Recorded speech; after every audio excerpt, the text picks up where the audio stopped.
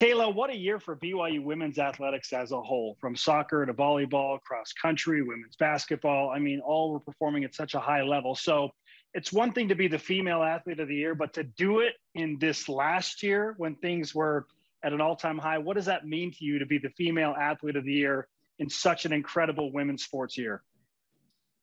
I mean, yeah, wow, that's crazy. Like you said, it's been an incredible year for BYU women's sports as a whole. And to even be listed among some of those other athletes is is humbling in itself. And so to be recognized like that it's just it's it's really rewarding and it just makes me happy to be able to have been in that that stage and kind of be recognized with all those other amazing athletes. Well, not surprisingly, based on your year individually, you were one of the top players in the country on the Mac Hermann Trophy finalist list. Your team goes to its first ever college cup national championship match. How would you sum up everything that happened for you individually and as a team? Yeah, I mean, it was kind of a crazy year. I think because it was my last COVID year, my my for sure final year, you know, season. Um, it was kind of just like, let's go for it. Last season, um, all in, just wanted to give it my all, and the team was really successful, and it was just super fun to be a part of. And I always wanted to I always said that I wanted to take Jet to a national championship, and uh, I was really happy that we were able to accomplish that and make it there and play on the biggest stage. And and it was just an incredible year. I mean, really, it was everything with that team and those girls being a lot of my best friends. Like it was everything that I could ask for. We're adding to your individual accolades, obviously, with this Y Award and featuring you on BYU Sports Nation. When you're receiving those things and those honors are starting to fly in, how do you manage that and still kind of stay the course? Because it's easy to get distracted. um, yeah, I think I always feel like awards are kind of just a reflection of how successful the team is. And um, when you have a really successful team, individuals start to get recognized as well.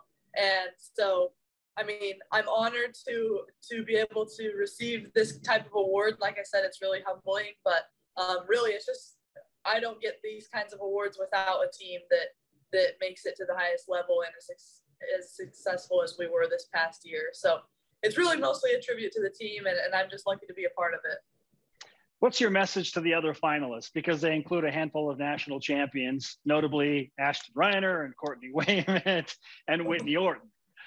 Well, honestly, they're just as much, if not more, deserving of this award than I am because to watch all their careers play out and see the success that they've had has been awesome. And I love watching each of them perform at their different um, sports, and and it's just fun to all kind of be playing at the highest level together in each of our individual sports, and and really congratulate each of them as well for being finalists. How did you find out that you were the Y Award recipient? uh, just now when you just told me. oh, it's fantastic. Hey, we, we leave the drama right for the moment, right?